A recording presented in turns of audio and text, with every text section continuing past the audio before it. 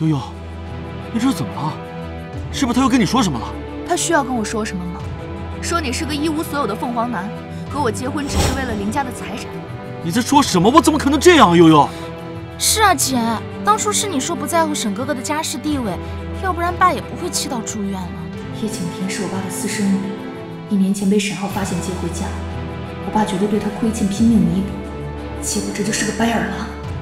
现在想想，可能都是他早就预谋好的。你说的对，爸现在住院了，所以林氏还有升天以后的项目都由我来负责。就是不出，现在怎么好像变了呢？悠悠，有什么事我们回家说。我倒要看看你和叶景天怎么演戏。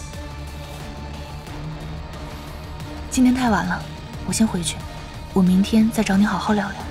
林悠悠，你又想耍什么把戏？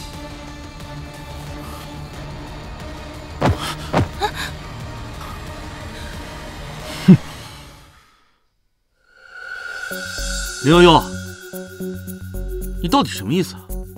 你刚才为什么说要跟我离婚啊？我只是为了安抚陈泽光，不要因为我结婚损害深田的利益。姐，原来你是为了我的项目。你说的项目是我和沈浩的项目。我我累了，要先去睡了。今天太晚了，你就留下吧。不是他什么意思啊？他今天竟然主动留我过夜。